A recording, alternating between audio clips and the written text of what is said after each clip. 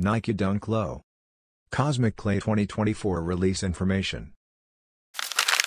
There is still a noticeable level of demand for the venerable skate model even though the dunk craze may be in the past. Considering how many colorways we've previously seen, future editions must include details in the margins to keep things fresh. The Nike Dunk Low Cosmic Clay is the answer to this challenge. This release is remarkable despite not being a complete reimagining due to several adjustments. As we last saw on the Nike Dunk Low Neapolitan from February, a small swoosh appears towards the forefoot. The primary color used on this shoe isn't pure white, even if its color scheme is reminiscent of previous Orange Blazer Syracuse releases. Instead, the midsole and underlying leather panels are done in a variety of eggshell and beige hues, which gives the model a rich, vintage look.